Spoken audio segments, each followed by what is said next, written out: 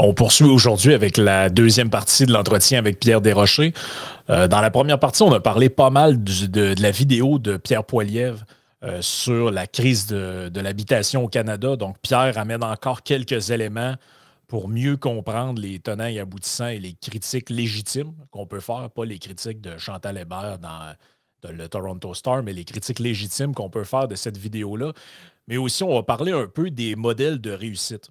Euh, entre autres, la ville de Tokyo, la plus populeuse des villes au monde. Donc, une ville qui a au-dessus de 14 millions d'habitants au centre même, euh, donc sans compter les agglomérations. Euh, il y a 14 millions d'habitants qui vivent dans cette ville-là et c'est pourtant moins cher de louer un appartement à Tokyo qu'à Toronto ou même Montréal. Incroyable. Donc, on en parle avec Pierre dans cette deuxième et dernière partie-là de l'entretien qu'on a euh, avec lui. Manquez pas ça, c'est beaucoup, beaucoup d'informations super intéressantes qui vont pouvoir euh, probablement alimenter plusieurs discussions que vous allez avoir euh, au courant de l'année à suivre. Donc, sans plus tarder, je laisse la parole à Pierre.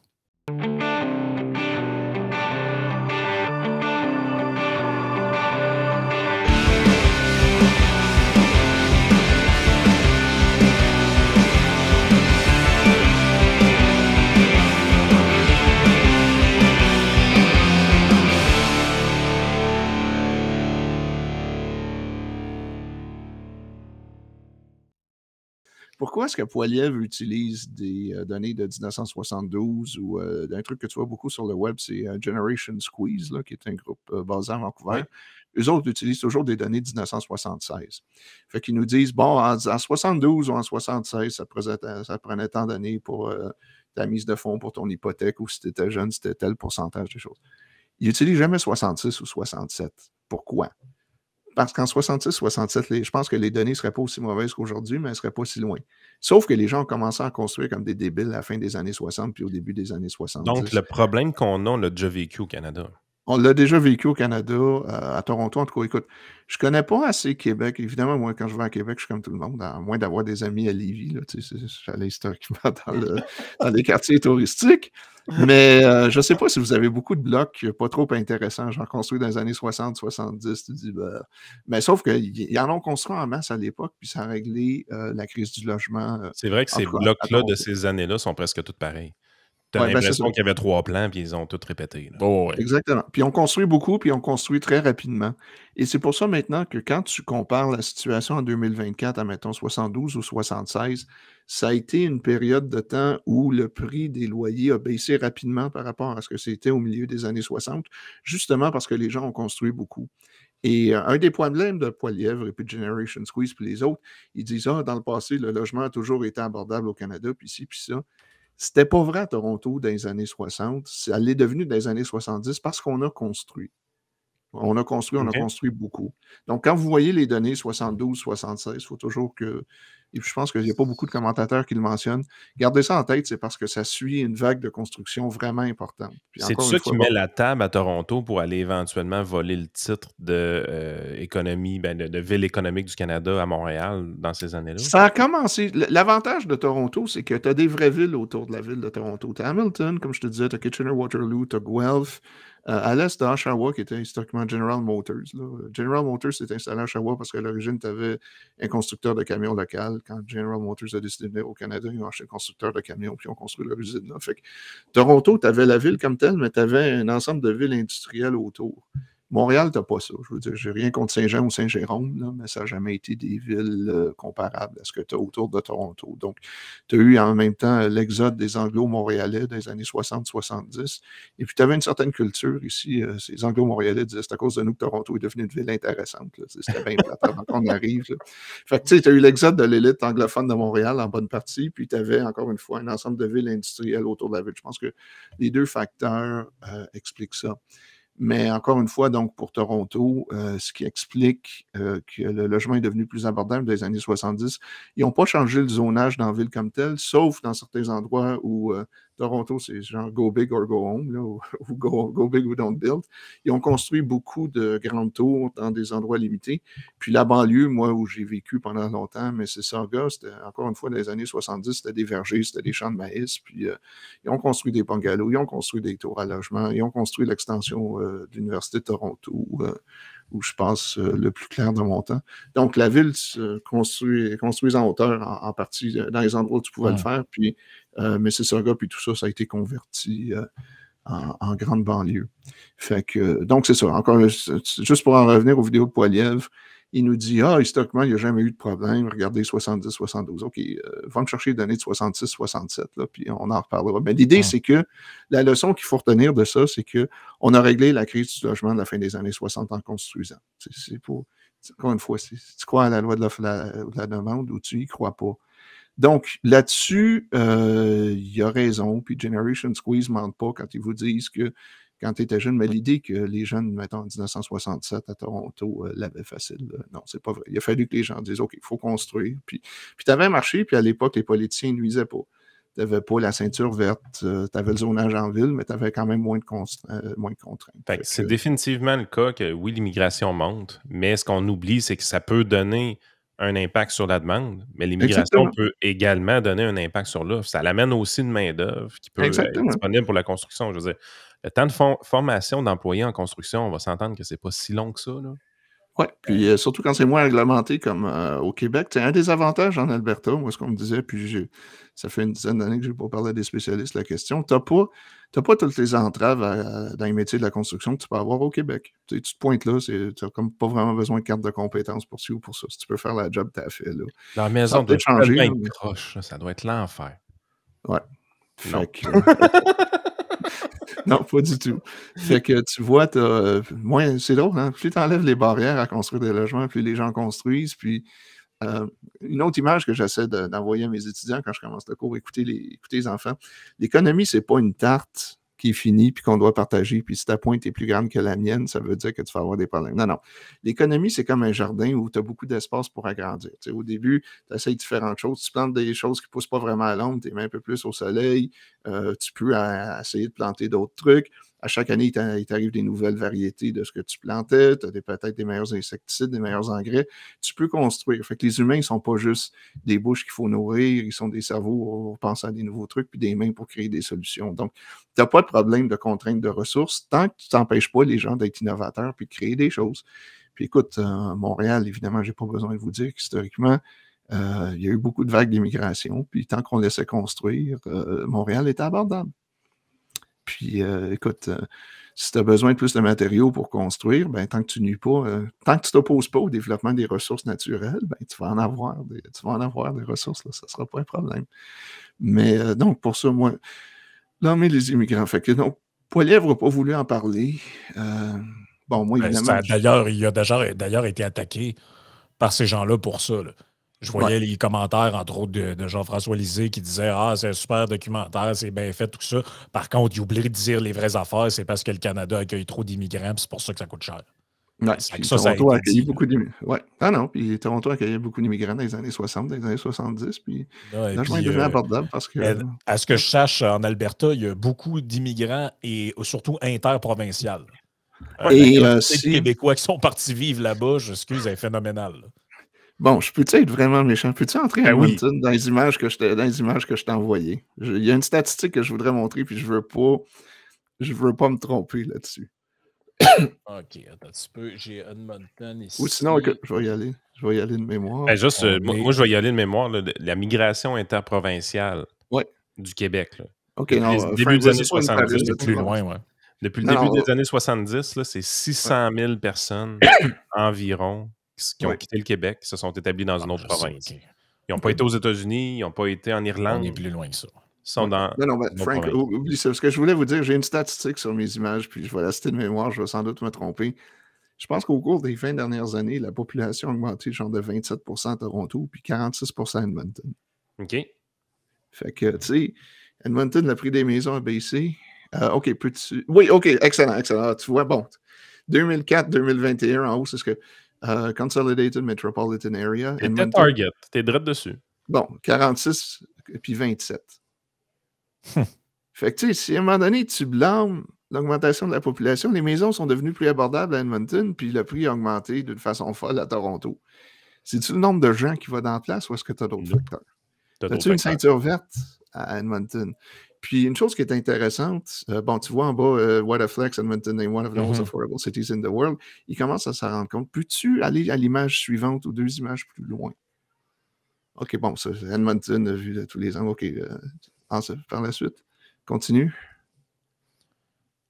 Euh, OK, ben ça, c'est. OK, ben, pouvez-vous vous acheter un appartement à 100 000 avec euh, une mise de fonds de 20% Montréal, combien de temps ça prend? 8 ans? Edmonton, maintenant, ça prend 4 ans, compte tenu des oh. taxes. Fait que c'est juste. OK, si tu veux continuer. C'est majeur comme différence. C'est les... Tu sors de l'université à 22 ans. Tu peux acheter ta maison à 26 ans à Edmonton. Tu dois attendre d'avoir 30 ans à Montréal. Exactement. OK, ça, c'est ce que je voulais vous montrer. Qu'est-ce qui est arrivé à Edmonton récemment? J'ai pas eu le temps de regarder dans les détails, j'ai pas eu le temps de parler aux gens dans l'industrie, mais ils ont adopté la réforme du zonage qui semble, être la plus importante de l'histoire au Canada. Tu n'as pas les problèmes que tu peux avoir à Lévis maintenant. Tu veux jeter ta maison par terre, tu veux construire un truc de 3-4 étages, maintenant tu peux faire ça à Edmonton. Et pourquoi ils ont fait ça? Ou pourquoi ils ont réussi à Edmonton puis ils n'ont pas réussi ailleurs? Yann, tu me demandais, bon, c'est qui les opposants ou les gens qui vont vouloir accepter de changer de zonage puis construire le plus? historiquement, c'est plus facile de changer les règlements de zonage quand les maisons sont abordables. Pourquoi est-ce qu'Edmonton réussit à faire une, réforme du zonage que tu n'as pas ailleurs? Parce que les maisons ne valent pas tant que ça pour commencer, puis ils savent que bon, les, gens continuent d'arriver, puis ça ne les affectera pas tant que ça. Mmh.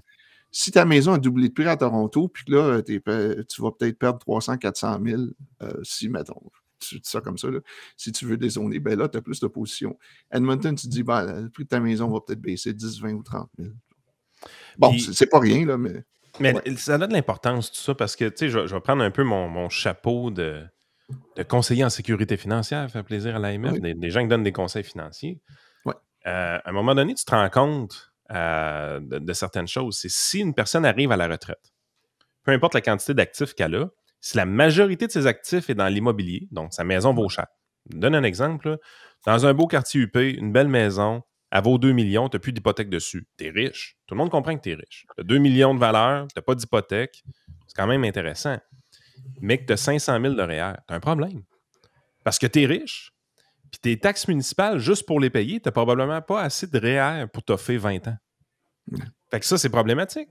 Fait qu'il faut que tes actifs soient quand même bien balancés à la retraite. Il ne faut pas que tous tes actifs soient dans l'immobilier. Tu sais, les gens qui disent Ah, moi, ma retraite, c'est ma maison tu, vas trouver que les augmentations de taxes municipales, c'est quand même pas le fun, mon ami. Ben, c'est une, bonne réflexion si tu as l'intention de la quitter, ta maison. Ben, exactement, mais la plupart des gens ne veulent pas ça. La plupart ben des gens ont travaillé toute leur vie sur cette maison-là, l'ont mis belle, ils veulent vivre dedans, ils prennent leur retraite. C'est sûr que si tu veux, tu as toujours besoin d'une maison pour vivre de ton côté. Donc, que la maison elle prenne la valeur ou elle en perde, ça ne change pas grand-chose dans le contexte que ben, si tu veux la vendre, j'ai fait 200 000 de profit, je la vends. Parfait. Ouais, mais parce que tu rachètes quoi? La même affaire à l'autre bord de la rue? Je veux dire, tu vas payer 200 000 plus cher. Tu Je peux-tu euh, me permettre justement là-dessus? Puis c'est un autre problème qu'on a à Toronto, puis je pense que c'est sans doute pas mentionné souvent dans euh, les, euh, les, médias québécois. On a des quartiers à Toronto qui perdent la population pendant une crise du logement. Qu'est-ce qui arrive? Justement, c'est les gens d'un certain âge, leurs enfants sont partis. mettons que tu as un des deux conjoints qui décède euh, tu as peut-être une personne de 75 ans qui est encore dans une maison. Euh, dans un marché normal, cette personne-là, typiquement, vendrait une maison pour aller en appartement. Oui. Ils ne font pas à Toronto. Pourquoi? Parce qu'un condo est à peu près le même prix maintenant. Le prix des loyers est tellement élevé que les gens se disent pourquoi je vendrais ma maison pour aller vivre dans un petit logement qui va me coûter à peu près aussi cher? Hum, fait que tu n'as pas, le, tu n'as pas le roulement normal que tu aurais dans un marché immobilier si euh, le prix du logement était plus abordable. J'allais dire que contrairement à Lévis, ou peut-être que c'est peut-être que les gens vivent ça maintenant, si je regarde juste les gens à l'université, euh, je regarde notamment les, je pense à deux ou trois personnes en particulier qui viennent des maritimes à l'origine. Qu'est-ce qu'ils ont fait, eux autres? Ils prennent leur retraite, euh, vendent leur maison à Toronto, déménagent en Nouvelle-Écosse, c'est de là qu'ils viennent. Si, si, la, si la femme qui marie les. réalisation, ça, là. Ben non, exactement. Mais eux, eux le font. eux vont partir. Les gens que je vois qui sont encore dans le quartier, c'est les gens qui sont nés à Toronto. Leurs enfants sont à Toronto. Puis euh, eux, ils ne sont pas pressés de vendre leur maison, même si elle est trop grande pour eux maintenant, parce qu'ils vont faire quoi? Euh, j'en parlais justement de. Puis même, c'est pas juste ben, enfin, Burlington, Hamilton, je sais pas si ça vous dit quelque chose. Ben, mais. Où est-ce que je m'en allais avec ça? C'est que comme plan de match de retraite pour un jeune, si tu arrives, là, c'est le fun, on est rendu avec des CELIAP, puis là, on a des. Tu peux rapper un REER, avec là, tu as, 40 000 de CELIAP potentiellement que tu peux utiliser. Tu as 35 000 de ton REER, ça fait 75 000. Puis là, tu achètes ça avec un conjoint-conjointe, fait que là, c'est un autre 75 000. Hey, tu peux te monter une mise de fonds de 150 000 avec de l'argent déductible. Crime, c'est le fun. Oui, c'est l'affaire, on l'a vu à Montréal, tu peux l'acheter à 30 ans si tu sors de l'école à 22. Mm-hmm. Puis potentiellement beaucoup plus tard quand tu arrives à Toronto. C'est mm. quand tu prépares ton fonds de retraite. Je veux dire, tu es dans une position que tu commences par bâtir ton cash down. Là, finalement, tu achètes ta maison, tu es rendu à 34 ans, puis tu n'as pas commencé à bâtir ta retraite, tu as tout mis dans la maison. Puis là, la maison, même si tu as mis 150 ou 200 000 de cash down à deux, mm. j'ai des petites nouvelles pour toi. Il reste une hypothèque à payer. Ouais, puis là, dans ton scénario, on n'a pas encore pris la possibilité, pas pris en compte la possibilité qui est de quoi 50% qu'il y ait un divorce au travail. Oh, on n'est pas encore dans le scénario. Puis j'allais dire, c'est pas un scénario catastrophe, c'est quoi? C'est une sur deux? Là? Oh non, c'est un scénario qui fait mal au portefeuille en baptême, ça. C'est intense. Mais ça touche les Canadiens, cette affaire-là. Ça touche, ça touche les rêves des jeunes aussi. Comment tu fais pour imaginer ta vie plus tard? Si d'aucune façon, quand tu mets, tu pars un petit fichier Excel, tu as 19-20 ans, Mmh Essaye de rentrer des chiffres, tu, gagnes de l'argent, tu vis dans le sous-sol de tes parents, tu te dis quand est-ce que je peux foutre mon camp de sous-sol-là? Puis dans plusieurs cas, la réponse, c'est pas tout de suite. Là. C'est pas le fun. Les personnes qui Moi, je veux dire, je suis parti de chez nous à 17 ans. Euh, c'est qui qui va être capable de faire ça pour vrai dans 10 ans? Puis même, euh, puis toi, je présume, tu as quitté ça pour aller à Québec? Tu as fait, as fait des études à Laval, toi? Ah, non, oh, OK. Écoute, j'ai quitté. C'est Jap, c'est Jap. Ben oui, c'est Jap, c'est Jap. Ah, mais, écoute, rien que pour te dire comment c'était débile, je quitte Cabano, qui est une petite municipalité qui ne coûte pas vraiment cher, pour aller au cégep à Rivière-du-Loup, qui est à 45 minutes. Et c'était plus abordable pour moi de me prendre un loyer à Rivière-du-Loup, qui partagé à trois personnes, me coûtait 167$ mm par mois. tu sais, je veux dire. Là, on parle de début des années 2000 dans mon cas. Le cégep, c'est 2001. Non, mais Yann, j'ai vécu euh, pas bien ben différent que ça, moi, à l'université. Quand j'ai quand je suis parti du Lac-Saint-Jean pour venir à l'Université Laval ici, on avait un 5,5, moi et mes deux autres colocs, qu'on payait 625 pièces, je pense, un 5,5. Arrive à 200 pour C'est par ça en trois, là, ça coûtait 200 quelques piastres par personne. Mettons 300, là, un coup que l'Internet est payé puis l'eau chaude. Là. C'était ça, en gros. Là. Ça, Puis ça, ça fait pas longtemps. Ce, que, je dis là, c'est 2009.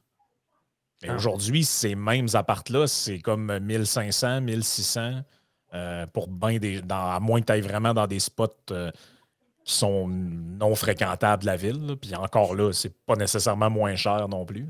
Fait que, le, portrait a changé beaucoup. Là.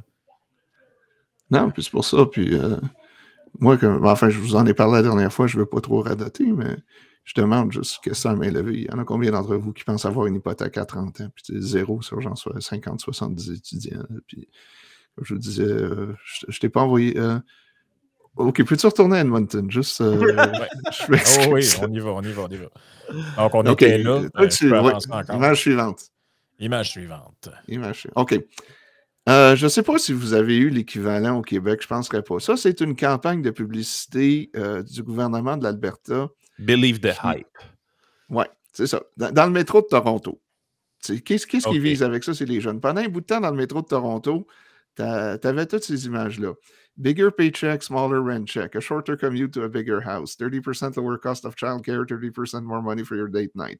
What did the Albertans say to the Vancouverite you're hired? What's the average price of a detached home? Encore une fois, campagne de publicité dans le métro de Toronto. Toronto 1.4, Edmonton 490. Le gouvernement de l'Alberta est venu à un moment donné, ils ont fait ça. Puis moi, j'en parlais à certains de mes étudiants, euh, ben pas mes étudiants, moi, parce que j'ai pas d'étudiants, je trouve. Euh, suis trop pestiféré là, sur certaines idées. Mais tu sais, genre euh, euh, des étudiantes dans la vingtaine, puis bon, ils viennent à Toronto pour vivre le trip de la grande ville, puis on, est avant une conférence à un moment donné, puis je sais pas pourquoi, je commence à leur parler de ça. Avez-vous vu la campagne dans le trou? Oui. Euh, ça vous intéresse-tu? Tu sais, Edmonton, Alberta, c'est des cowboys, ça m'a vraiment. C'est vrai qu'une maison là-bas, c'est genre 490, puis pour l'équivalent ici, tu as 1,4. J'ai dit, pas rien que ça, tes taxes sont moins chères. Ah oui?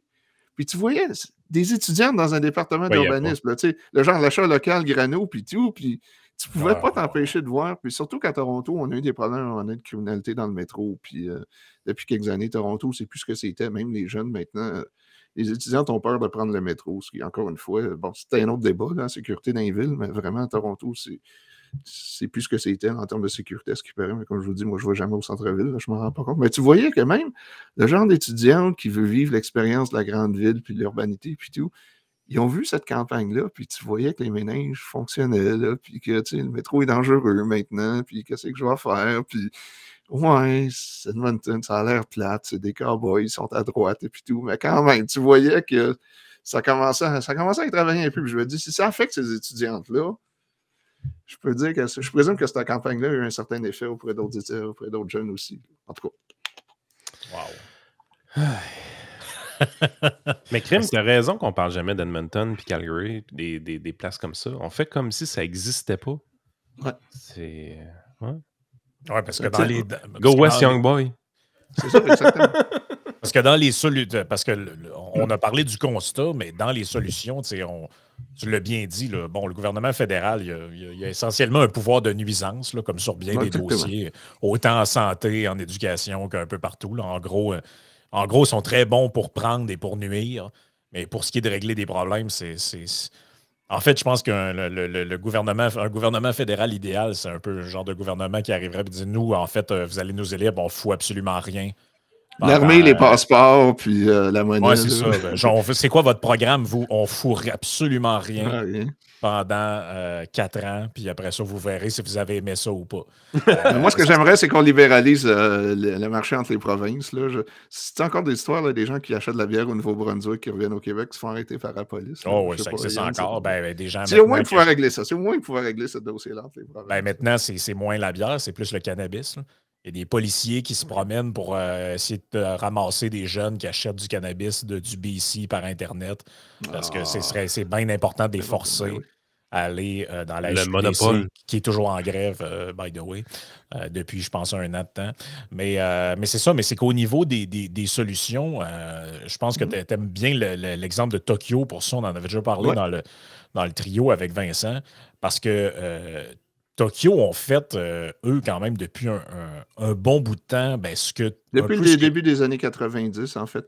Pourrais-tu, c'est juste après Edmonton, tu vois, ça sera pas loin si tu veux, juste Oui, c'est un, peu le principe du Green Belt, si je me rappelle bien, Tokyo, c'est qu'il y a des espaces verts, il y en a en masse, quand même. Ah, non, justement, tu vois, c'est ça, je voulais rajouter. Bon, ça, c'est la même image que la dernière fois, je m'excuse, si tu peux aller plus loin. Ah non, c'était Hong Kong, oubliez ça, c'était un autre. C'est Hong Kong. C'est Hong Kong, Hong Kong, oubliez ça. Bon, d'abord, ce que je voulais montrer, tu vois, c'est pas évident pour les gens. Euh, Tokyo a pris de l'expansion. Si jamais vous allez à Tokyo, c'est une ville qui est un peu emmurée, là, avec des collines autour. Mm-hmm. Tu vois qu'au début, ils s'étendent autant qu'ils peuvent, puis tu vois que la carte devient un peu plus rouge au fil du temps. Donc, à un moment donné, quand, quand ils frappent les collines, puis tout, ben, ils se mettent à construire en hauteur. Mais ils construisent beaucoup en hauteur à un moment donné. Si tu peux aller à l'image suivante. Oui. Bon, c'est un point que j'ai fait la dernière fois. Euh, Vincent, évidemment, lui, sa première, euh, son premier truc, c'est de dire un géographe a fait d'allemand, ben oui, ma pierre, la population diminue au Japon. Euh, c'était juste pour vous montrer que non, la population ne diminue pas à Tokyo. Et pourquoi les gens quittent les régions tant que ça au Japon? Je pense qu'on n'en parle pas si souvent.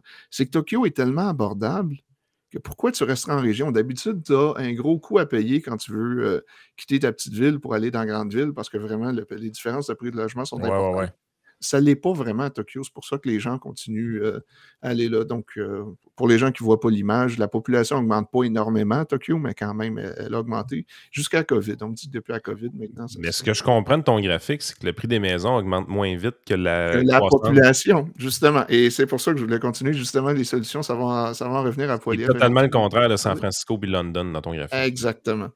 Donc, si tu peux l'image suivante, c'est pour ça que je voulais en revenir. Bon, les banlieues, on va passer.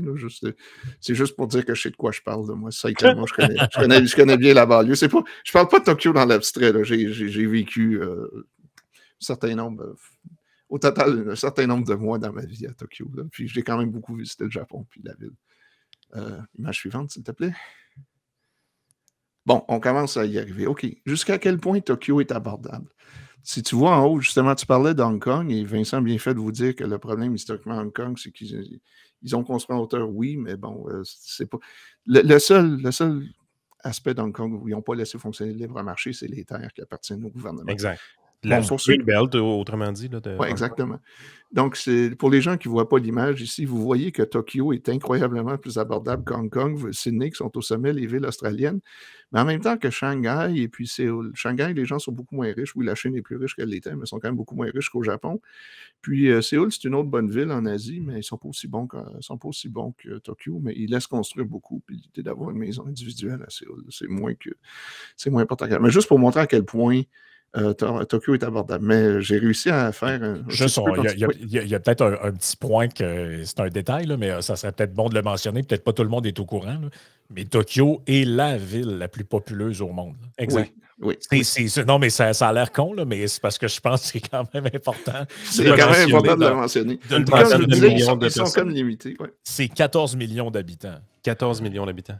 Mais ça, c'est la ville. Mais la grande région de Tokyo, c'est à peu près la population du Canada. Ils sont en genre 31-32 millions. Ouais, c'est ça, j'avais entendu. Le, tiers de la population du Japon vit dans, la région de Tokyo. Wow. Mais le 14, c'est la ville, mais l'agglomération telle, c'est peut-être 32. OK, bon, je ne suis, pas le, suis, pas, je suis pas le meilleur sur Internet, mais j'ai réussi à comparer, euh, j'ai réussi à trouver un logiciel qui me permet de comparer le coût du loyer à Toronto puis à Tokyo, juste pour avoir une image. Puis encore une fois, c'est du simple au double. Exactement. Tu veux avoir un appartement d'une chambre au centre-ville, euh, puis j'ai fait ça il y a une couple de, couple de mois. Là. Euh, c'est pas un pays en voie de développement, le Japon. Là. Non, exactement. Fait que si tu veux un appartement d'une chambre au centre-ville, à Tokyo, tu payes 50% euh, de moins qu'à Toronto. Tu veux un appartement en banlieue, c'est genre 66% de moins. Donc, euh, moi, Saitama, la région que je connais, c'est bon, c'est Brossard. Ben, pensez-y, un appartement, une chambre, en ville, Tokyo, c'est 1200 pièces Toronto, 2500. Ouais. 2500 pièces par mois, une chambre en une ville. Chambre. Une chambre en ville. Ben, euh, trois chambres en ville. Juste pour rajouter à ce que vous venez de dire, mais moi, ma mémoire me rappelait que j'avais vu de quoi là-dessus hier. J'ai vu ah. hier un article sur le fait qu'à Montréal, le prix moyen d'un 3,5, c'est maintenant 1587 C'est plus cher qu'à Tokyo. C'est plus cher qu'à Tokyo. Si tu peux aller donc ça, puis ça pour dire que bon, c'est 27, 55, 28, 48. Si tu peux aller à l'image suivante. Oui. Mais je pense que l'affaire d'immigration, euh, on tue l'argument de là. Je veux dire, la ville la plus populeuse au monde. Qui continue d'augmenter en termes de population, oui. Exactement. Il y a une croissance de population plus grande que la croissance du prix des maisons. On est dans une situation où est-ce que c'est moins cher que Montréal. Oui. Bon, un autre truc, tu vois, je vais en revenir à Poiliev, là, quand même, j'essaie de m'en tenir au sujet. Une des critiques qu'il y a eu, c'est que les gauchistes sortent toujours ça. Le gouvernement fédéral a arrêté de subventionner HLM dans les années 90. Oui. Euh, bon, j'avais écrit, j'avais fait un peu de recherche là-dessus à l'Institut économique de Montréal au début des années 2000, puisque tu voyais, c'est vrai que le fédéral a arrêté de subventionner les HLM. Euh, bon, on pourra entrer pourquoi. Sauf que le gouvernement provincial avait augmenté ses subventions à l'époque. Fait que ça revenait à peu près kiff-kiff en termes de ce qu'on dépensait euh, c'est juste un autre palier qui, C'est un autre palier qui a compensé. Je veux dire, euh, il n'y a pas eu vraiment de coupure si tu regardes euh, les trois paliers de gouvernement ensemble. Tokyo n'a pas d'HLM, ou à peu près pas. Par contre, parce qu'il laisse les gens construire, si tu vois la deuxième ligne ici, on peut la traduire, Tokyo a plus d'appartements à louer que de gens qui cherchent des logements. C'est-tu mieux? Puis j'avais, je pense, je sais pas si je l'ai laissé, mais je pense que les listes d'attente pour les HLM à Montréal, c'est quoi maintenant? 6-8 ans au mieux, là, je pense? Toronto, c'est genre 15 ans. 15 ans. 15 d'attente pour un HLM. À Toronto, ouais, c'est genre ouais, mais c'est pas là que tu es censé. C'est pas le premier barreau de l'échelle, la HLM, dans le sens. Ben, en tout cas, la morale de cette. Moi, ce que je voulais dire. En dessous d'un viaduc. Ouais, tu vois, c'est que, bon, les, critiques gauchistes typiques de Poiliev, oh, il dit pas que le fédéral a arrêté de financer HLM dans les années 90, puis ça nous prend des HLM pour aider le monde. Tokyo n'a pas d'HLM. Ils ont plus de logements à louer qu'ils ont de locataires potentiels puis à Tokyo, il doit y avoir des pauvres comme partout ailleurs. Exactement. Euh, puis une des raisons pour lesquelles, justement, euh, le fédéral avait arrêté de subventionner euh, les HLM, c'est que toutes les études sur la question te prouvent que tu obtiens bien meilleur rendement si tu donnes un chèque aux gens puis tu leur dis allez vous loger sur le marché privé avec ça, tu leur donnes genre un bonus. Là. Je suis d'accord. Tu vas loger genre deux, trois, peut-être même dans certaines études, quatre fois plus de gens si tu leur donnes un, montant d'argent puis trouvez-vous un logement dans le marché privé que si tu amènes toute l'efficacité du gouvernement à construire puis à gérer des Oui, oui. Ben, d'ailleurs, le, on t'entend qu'être dans les solutions, mentionnons-le. Puis on reviendra aux images après. Mais euh, Trudeau a annoncé que là, le gouvernement allait. Euh, son plan pour l'abordabilité, c'est que le gouvernement allait recommencer à construire des genres de maisons euh, faites par le gouvernement. Et là, il y avait... Les, maisons de guerre, tu vois, j'ai mis ouais, des, des, maisons de guerre, là, paraît-il, il y a des gens là, qui disaient cette semaine, là, ça, des, je, vis dans un quartier comme ça, c'est super beau. Puis, euh, ouais, mais tu vois, le, problème, et puis c'est pour ça que on va pas aux images, là, je m'excuse, je, te mettrai pas ça lettre là-dessus. Ça fait, ça fait un peu Russie quand on entend des affaires de même, ou Union soviétique, en fait. Mais en même temps, tu vois, ce qui arrive, c'est qu'à l'époque, Bon, les maisons de guerre, pour ceux qui ne connaissent pas l'histoire, c'est qu'encore une fois, pendant la Deuxième Guerre mondiale, tu as un contrôle des loyers, donc évidemment, l'offre est super. Puis tu as beaucoup de gens qui arrivent en ville pour travailler dans les industries. Fait que les maisons de guerre, l'idée, c'est que c'est comme des maisons. Hein. C'était quoi le constructeur? Ça arrive sud, là. Bonnard, Bonnardville, les maisons. Euh, ah, Bonneville. Bonneville, oui. En gros, c'est comme des maisons Bonneville à l'époque, sauf que c'est fait avec euh, des matériaux qui ne sont pas euh, réglementés par le gouvernement à l'époque, des matériaux qui ne sont pas essentiels à l'industrie de guerre. Et puis évidemment, à l'époque, qu'est-ce qu'ils font avec les maisons de ville? Ben, moi, celle que je connaissais un peu, c'est euh, celle qui est à côté de Canada, enfin Bombardier, là, à Cartierville, ou en as près du stade olympique aussi. L'idée à l'époque d'acheter un champ, tu construisais une maison, personne ne t'obstinait, c'est question de zonage. Le problème que tu as à l'heure actuelle, c'est que même si tu dis aux municipalités, bon, on va vous donner genre une dizaine de blueprints, là. Euh, faites pas d'histoire avec ça, approuvez-les. Euh, le problème, c'est que tu dis, OK, mettons que je veux construire une maison dans ma cour arrière dans la même municipalité ou je veux augmenter la taille de ma maison. Mais tu ne changes pas de règlement, tu n'as pas le droit de couper les arbres sur ton terrain. Tu fais quoi? Euh, le même ben, problème qu'avant. Ben, c'est ça, c'est le même problème. Puis c'est ce qui arrive avec euh, certaines villes. Euh, bon, Vincent mentionnait à un moment donné Minneapolis ou d'autres. Ils ont des, c'est ce qu'on a fait à Toronto il y a une couple de mois. Tu déréglementes le zonage, mais c'est la façon la plus simple que je peux te l'expliquer. OK, ouais, tu peux construire une maison dans ta cour arrière, mais tu n'as pas le droit de toucher aux arbres. Tu fais quoi? Tu vas-tu en construire ta maison? Non. Ou tu as le droit d'acheter un étage, mais pour faire ça, on va te donner genre une autre taxe de bienvenue de 46 000 et puis, euh, bon, fait que tu as beau changer un aspect du problème. À Toronto, il y a quelqu'un dans l'industrie qui me disait ça prend genre 70 euh, différents types de permis là, pour construire. Fait que même si tu règles un problème, puis que tu ne règles pas les autres, tu fais quoi? Pourquoi est-ce qu'on construit juste des grandes tours de condos à Toronto? C'est parce que le processus va prendre genre 7, 8, 9 ans. Il euh, faut que tu. Euh, faut que tu deals avec euh, les politiciens, avec l'opposition euh, des gens dans le quartier, puis tout. Fait qu'à un moment donné, les seuls gens qui ont les moyens de construire à Toronto, c'est les gens qui construisent des grandes tours. Mettons, c'est un ancien terrain de centre d'achat des années 50. C'est pour ça que ça, limite le genre de développement qu'on peut avoir. Fait que moi, bon, euh, le ministre Fraser, qui a été meilleur que je pensais, soit dit en passant, il n'a pas été. il n'a pas été. enfin, moi, ce qu'on m'a dit, je ne sais pas, tu vois, je me souviens plus. Est-ce qu'au début, je vous ai donné sa première citation? Donc, on ne veut pas que le prix des maisons baisse, mais on veut rendre le logement abordable. Mais il a appris, puis à un moment donné, j'en parlais à mon meilleur chum qui travaille dans l'industrie. Euh, mais il commence à avoir de l'allure. Tu sais, genre, il a, sorti le bat là, à Winnipeg puis à Vancouver, puis il leur a dit non, non, on vous a donné de l'argent pour construire une station de train, là, vous allez construire en hauteur parce que les politiciens locaux ne voulaient pas. Fait qu'il a écrit des lettres, puis tout ça, puis il a été bon. Il a réussi à faire débloquer des trucs à Winnipeg puis à Vancouver, puis je demandais à mon ami dans l'industrie, OK, mais qu'est-ce qu'il y a? On dirait qu'il y a de l'allure. C'est une question d'âge?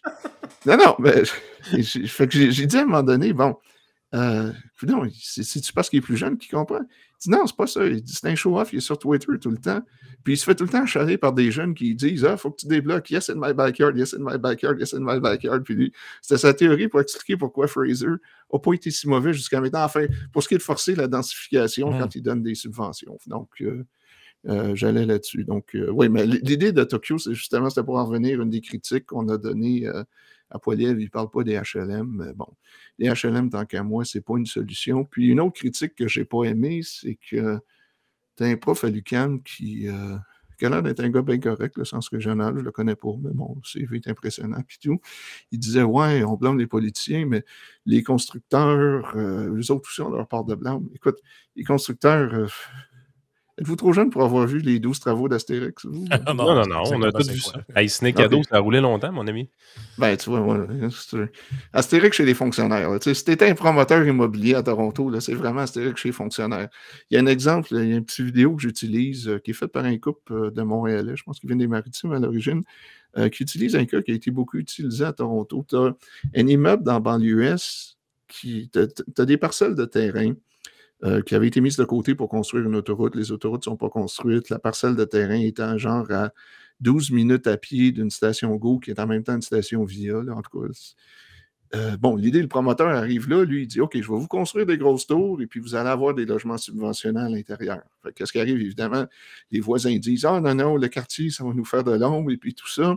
Fait que le, promoteur revient, euh, les immeubles sont plus petits, tu as moins de logements euh, abordables à l'intérieur parce qu'ils réduisent le nombre d'unités de gens, je ne veux pas dire de niaiserie, là, mettons 166 à 47.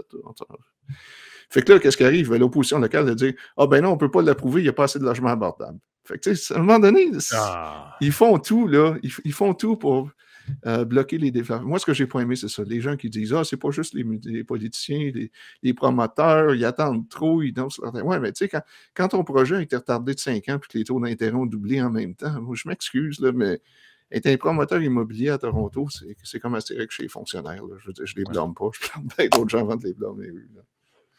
Mais c'est ce qu'on oublie dans toutes ces affaires-là, c'est que c'est complexe, certainement construire, mais en même temps, tu es là, tu te dis, crime, on a besoin de construire plus, mais quand on arrive pour déréglementer, les oppositions sortent de partout. Euh, puis c'est relativement mal informé. Puis tu sais que la libéralisation est bonne, mais on dirait qu'il n'y a pas beaucoup de monde au pays qui comprend ce principe-là. Autant chez les médias que dans la mhm. population générale. Fait qu'à un moment donné, tu es là, tu dis, le politicien va vraiment pousser une forme de libéralisation. Il obtient l'oreille attentive de qui exactement pour que ça fonctionne puis qu'il réussisse à se faire élire de cette façon-là? Oui, Pierre Poiliev parle beaucoup des maisons. Oui, il parle beaucoup d'inflation. Mais il dit pas grand-chose quand tu y penses comme faux en termes de... Non, puis la raison pour... Euh, une des raisons, je présume, je présume qu'ils ont leur sondage, mais tu vois, la question du logement, tu peux pas vraiment dire que c'est une question gauche-droite maintenant. Euh, je présume que beaucoup de ces électeurs qui aiment leur quartier avec des maisons unifamiliales, puis ils ne voudraient pas voir un bloc de HLM euh, ou euh, un bloc appartement arriver dans leur quartier. Fait que je comprends qu'il n'ira pas naviguer dans ces eaux-là. mais en même temps, ce que tu peux avoir, comme je te dis. Ben, c'est des besoins de base. Là. avoir un toit sur la tête, là, on est rendu dans. On retourne dans la pyramide. Là non, mais c'est pour ça qu'historiquement, c'est beaucoup plus facile de construire en banlieue que ça peut être de densifier le centre-ville. Un autre truc qui m'enrage avec mes collègues, puis heureusement qu'on parle français, parce que en fait, encore là, je me retiens, mais tu sais, je les vois invités sur des émissions de télé où on m'invitait dans le passé, puis on m'invite plus, puis ils disent toujours Non, non, il ne faut pas toucher à la ceinture verte, il faut créer des quartiers plus viables, et puis ci, plus ça. Alors qu'ils savent très bien que ça fait 20 ans qu'ils disent la même rengaine, puis qu'il n'y a rien qui change à Toronto à cause du zonage puis de l'opposition qu'à un moment donné, euh, la, seule soupape que tu as à court terme, c'est de construire en banlieue parce que tu n'as pas d'opposition vraiment à construire dans les champs de maïs. Euh, bon, c'est sûr que tu vas avoir des, euh, militants, puis tout, mais bon, dans l'ensemble, je ne peux pas croire que d'opposition à construire dans ce qui est la ceinture verte, en tout cas, tout le moins, les chantiers d'un champ de maïs vont être si fortes que ça. Mais sauf que c'est une poignée, c'est des, des Radcans de Toronto, c'est euh, TV Ontario, c'est l'université. Puis tu as Doug Ford qui vit dans ce milieu-là. Puis, à peu près toutes les, les, critiques qui vont se rejoindre entre la gauche et la droite, généralement, ce sont au niveau du, euh, des cronies. Si vraiment tu arrives, tu regardes la collusion, la corruption, euh, la gauche déteste ça parce que mm-hmm. pas, c'est le méchant capitaliste qui, qui exploite le petit monde. les gens un peu plus de libertariens ou de libéral classiques comme nous autres, on va dire non, non, le capitalisme, c'est fantastique, mais le cronisme, le, fait que des, des, gens se mettent amis avec l'État, les lobbies vont avoir des avantages négociés. C'est quelque chose qui est fondamentalement mauvais pour l'économie. Fait souvent, c'est là que la gauche et la droite se, se rejoignent pour des raisons contraires, si on veut, mais qui ont à peu près le même objectif quand tu regardes vraiment la source de corruption en immobilier, le zonage est souvent ciblé du doigt. Mmh. Euh, le fait qu'on va, on va acheter des immeubles qui, par après, vont être rachetés par le gouvernement, euh, puis qu'éventuellement, le gouvernement, généralement, il négocie comme un cabochon, on va payer trop cher. Vous avez l'histoire au Québec qui s'est passée avec Luc Poirier. Tu te rends compte que Luc Poirier n'a pas fourré le gouvernement, il, il, a roulé Fitzgibbon dans la farine, puis sa gang d'investissement Québec il l'a même pas ben, demandé. Les as-tu roulé ou il a-tu graissé des choses? Moi, je sais pas. Là. ah, il a même pas graissé. En fait, ah. Thomas Gerbet a sorti l'histoire complète dans les médias. Puis ce que tu te rends compte, c'est que les gens d'Investissement Québec sont carrément niais. Tu sais, genre, en 2020-2021, comme Poirier évaluait son terrain à peu près à 80 millions. La première offre qu'il reçoit, c'est 220. Tu sais, je veux dire, calvaire, là. Combien de fonctionnaires qui ont perdu leur job dans cette histoire-là? Euh, zéro. C'est un terrain, en plus, j'avais fait des petites recherches euh, dans, dans la Bibliothèque archive nationale du Québec. C'est un terrain qui pouvait pratiquement pas être utilisable par un privé, puisque, en fait, c'est un ancien site où il y avait, il y a eu dans le passé une usine de fabrication d'explosifs. Donc, il doit être contaminé. Euh, ben, ce par le passé, on s'en foutait de ça, puis tu aurais pu construire des maisons par-dessus, mais aujourd'hui, les terrains contaminés, c'est extrêmement compliqué. Donc, en fait, le, presque le seul usage possible, c'était d'utiliser le fast-track gouvernemental où tu bypasses le BAP, tu bypasses tous les, trucs des milieux humides, et là, on fout une grosse usine là-dessus, puis on passe par-dessus toutes les red tape. OK, j'allais, pas vous en parler, mais c'est, dans le vidéo de Poiliev. Donc, euh, quoi qu'il en parle plus dans une autre vidéo qu'il a mis d'avant. Euh, bon, je sais pas si. Euh, Niagara Falls, Ontario versus Niagara Falls, New York. Oui, oui, oui, il en parle, effectivement. Bon. bon, moi, pour des raisons personnelles. Oui, c'est ça. Bon, moi, pour des raisons personnelles, je connais quand même assez bien ces coins-là. Puis, ah, je dirais ça? Bon, la paire de mon step qui d'habitude juste en arrière de Niagara Falls, New York. mais je veux juste. Euh, c'est ma curiosité personnelle. Si je vous dis Love Canal, ça vous dit-tu quelque chose? Love Canal, le canal de l'amour. Non, OK, bon. Love Canal, c'est un des plus gros scandales environnementaux dans les années 70. Euh, la, version qui, la version populaire est très loin de ce qui s'est passé en réalité, mais c'est pas loin de l'histoire de ce que tu viens de me raconter. C'est à Saint-Jean, cette histoire-là? OK. Bon, Niagara Falls, ce que les gens ne réalisent pas, c'est que, si vous y allez, vous regardez les chutes, vous restez du côté canadien, ça a l'air beau, sauf que la rivière Niagara est une des rivières qui a un des plus forts courants au monde, puis c'est comme Dieu l'a créé pour les premières centrales électriques. Fait les premières centrales électriques qui envoient du courant à longue distance en Amérique du Nord, c'est Niagara Falls qui envoie ça à Buffalo. Donc, Niagara Falls, New York, c'est un peu comme, je ne sais pas, Valleyfield ou Shawinigan au Québec. C'est des villes qui existent euh, où tu as eu des industries polluantes dans le passé, entre guillemets, avec, euh, parce que tu avais du courant hydroélectrique qui n'était pas cher. Bon, Love Canal, c'est un canal par M. Love qui a été construit genre au début du 19e siècle. Euh, mais qui n'a jamais été développé. Tu avais cette espèce de grosse tranchée-là qui a été construite euh, dans un sol argileux, qui ne laisse pas passer l'eau, qui ne laisse rien passer. Puis tu as une compagnie de produits chimiques à Love Canal qui, dans les années 50, se rend compte qu'ils ont des gros déchets, puis qu'est-ce qu'on fait avec eux? On les met dans des barils, ils achètent le terrain à Love Canal, c'est dans l'argile, ils savent que ça ne se répandra jamais. Euh, couvre le truc, puis ils disent que ben, on, garde la propriété à vie, là, on sait qu'il y a du, on sait qu'il y a du mauvais stock là-dedans, puis bon. Sauf que Niagara Falls commence à croître des années 50-60. La commission scolaire dit on a besoin d'un terrain pour construire une école. Ils ont exproprié le terrain de Hooker's Chemical. Ensuite, vu que l'école a été construite, qu'est-ce qui arrive? Ben, tu as un développeur qui achète à côté. Fait qu'à un moment donné, puis la compagnie, ça a l'air qu'ils leur ont signé bail, ils leur ont dit construisez rien, là, là, il y a des choses dans le sol, vous ne devriez pas y aller. Sauf que, bon, comme ça, comme ça scolaire, des fois, c'est pas nécessairement des gens, en tout cas. Fait qu'ils décident à un moment donné, ils ont construit. Fait que veut pas, ils construisent, ils creusent dans le canal à un moment donné, puis oups, Qu'est-ce qu'on voit dans nos sous-sols? Il y a des gens de substance orange ou quelque chose qui arrive. C'est un gros scandale. C'est le scandale euh, environnemental le plus important des États-Unis dans les années 70. Il crée une législation qui appelle le Superfund, où si tu trouves euh, genre une cuillère à thé d'un produit toxique, le gouvernement fédéral arrive et paye pour tout. Là. La, vraie histoire de Love Canal, c'est que c'est la commission scolaire qui aurait dû payer, sauf qu'ils ont fait un scandale, ils ont blâmé la compagnie, les fédéraux sont arrivés, puis tout ça. Tout ça pour dire que Niagara Falls, New York, dans son vidéo, euh, Poiliev dit Ah, c'était un beau milieu pour élever une famille, puis ci, puis ça. Les gens un peu plus vieux, puis les gens dans les années 80, tu leur dis Niagara Falls, New York, la première chose qu'ils pensent, c'est Love Canal ou Curse Chemical, puis ce que tu peux avoir autour. Fait que, c'est pas. La seule raison pour laquelle il peut utiliser cette comparaison-là, c'est que les gens de votre âge n'ont jamais entendu parler de Love Canal.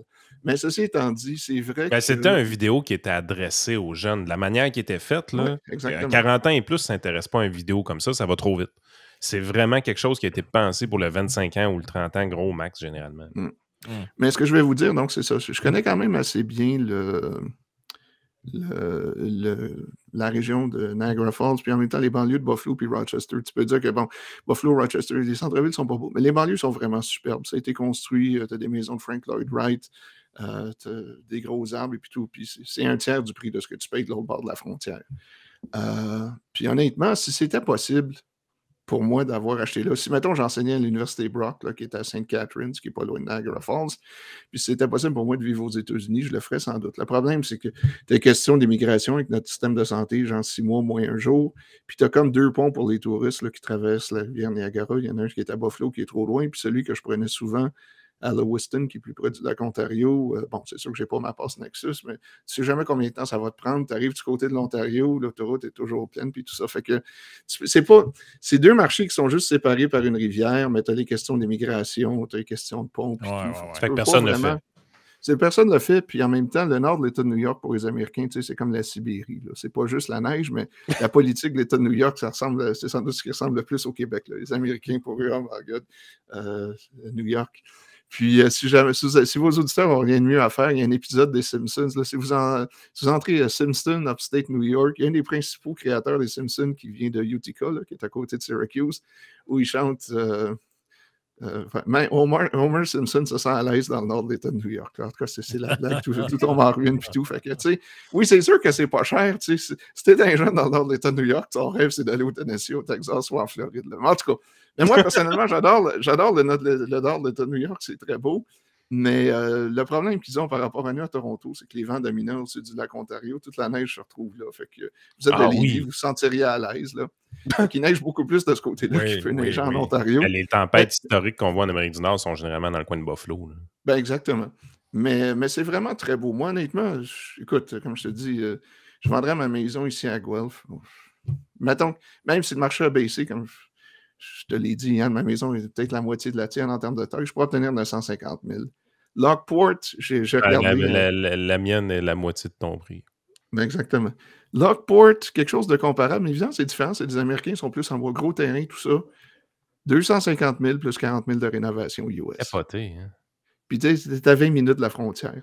Puis Lockport, c'est beau, là. C'est sur le bord du canal Erie. Puis euh, c'est sûr qu'il neige l'hiver, mais ben, je veux dire, je suis du Québec. Pour moi, c'est pour. Je comprends pour un Américain qui vient du Sud, là, c'est peut-être. Euh, ouais, c'est peut-être. Une fois, ça Mais tout ça pour dire que, bon, je comprends, je comprends ce que fait Poiliev, mais les questions d'immigration, les ponts, puis tout, c'est vraiment deux marchés différents. Puis Niagara Falls, New York, bon, vous avez confirmé ma théorie que vous n'avez jamais entendu parler de Love Canal. Non, honnêtement, tu me l'apprends, puis c'est une histoire qui a l'air assez fascinante, merci.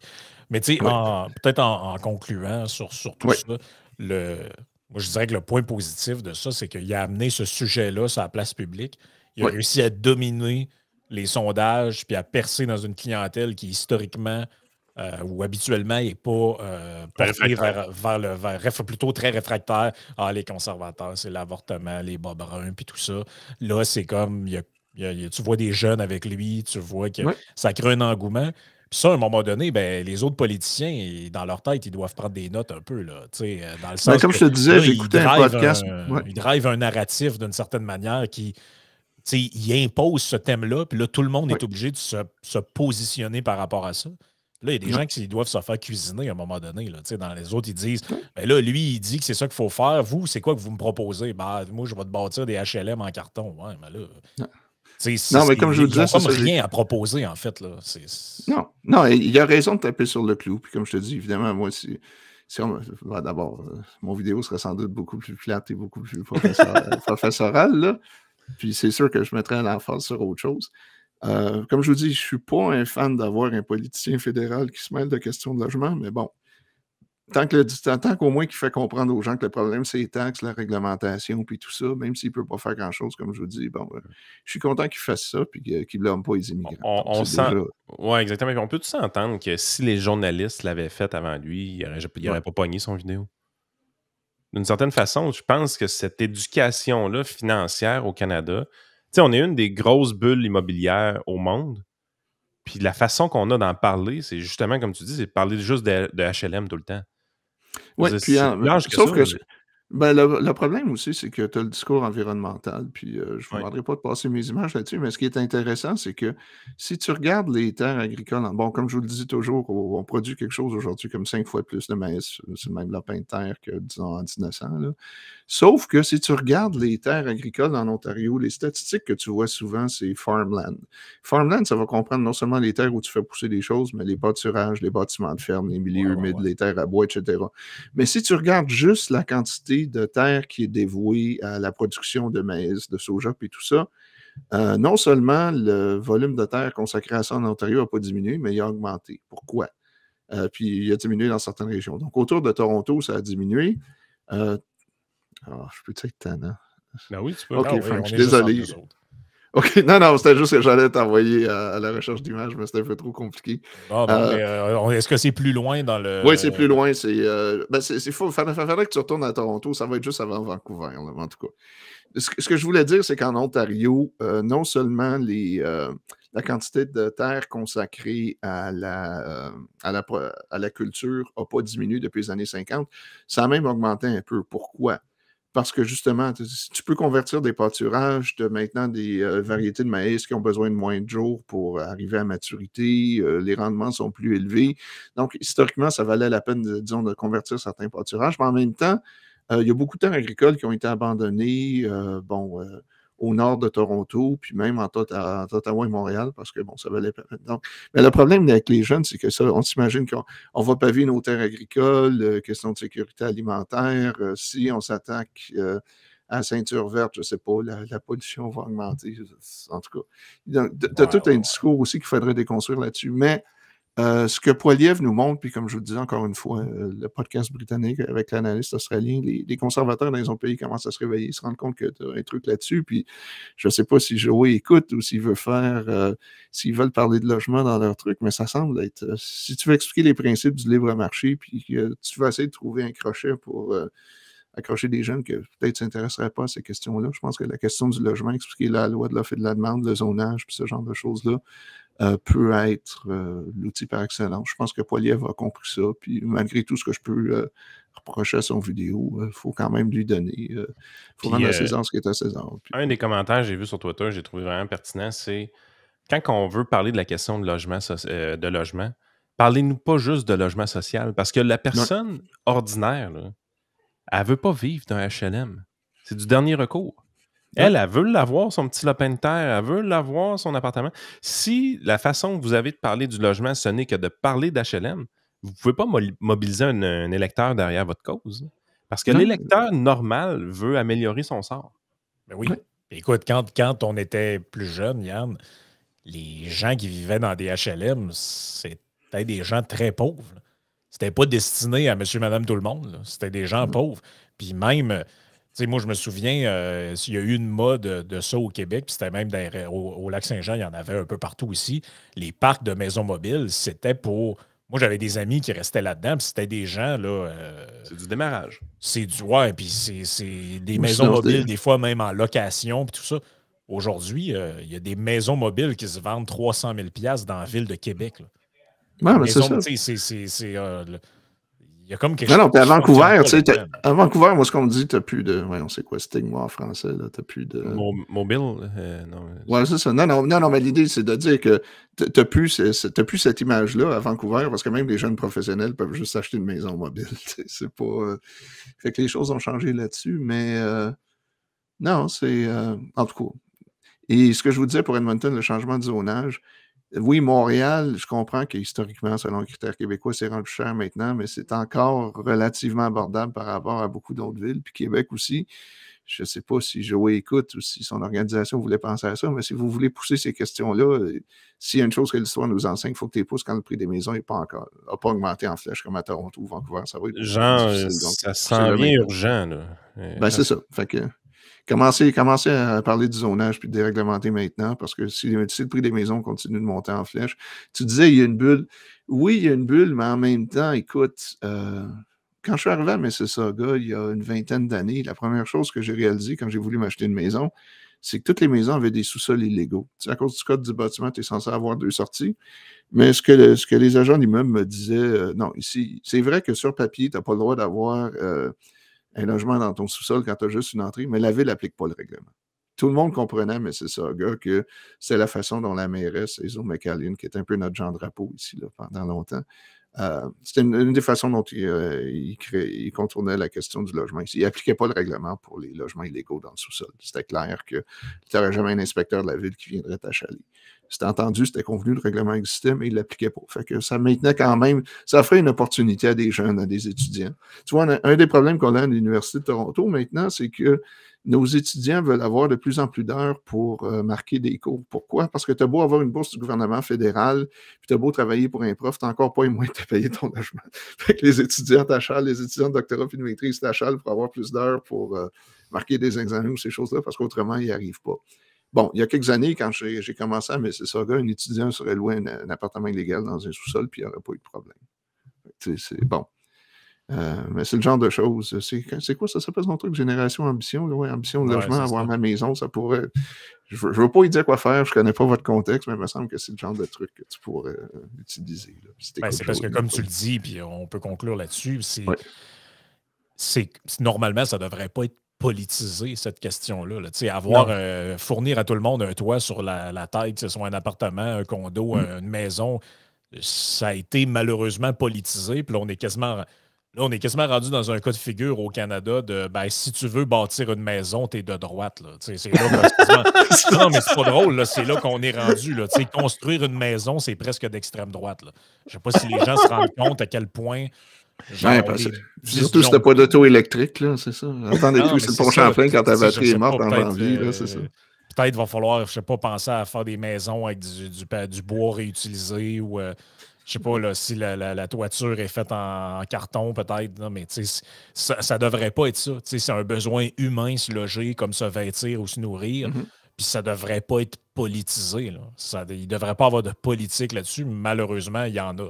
Euh, puis en même temps, moi, moi, ce qui m'étonne, c'est l'hypocrisie. Encore une fois, je, vais, je, me taire après, mais comme je vous disais, c'est pas une question de gauche puis de droite. Mais moi, à Toronto, ce qui me fait toujours sourire, mais d'une mauvaise façon, c'est que tu as tout le, gauchiste typique, la gauche caviar qui veut aider les pauvres, les HLM. Ben là, tu as, un projet dans son quartier. Puis qu'est-ce qui arrive? Je me souviens d'une dame en particulier là, que j'ai vu dans un des vidéos que je t'ai peut-être envoyé, Frank.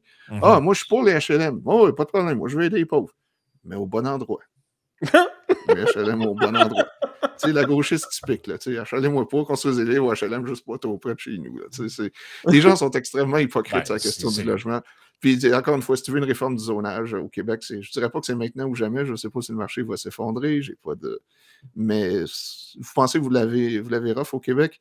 C'est rien encore comparé à d'autres régions du Canada. Donc, c'est le temps de pousser sur le dézonage, de construire. Puis, c'est pas, c'est pas parce que, comme Yann le dit, que tu construis sur quelques champs de maïs que la sécurité alimentaire du Québec est un problème.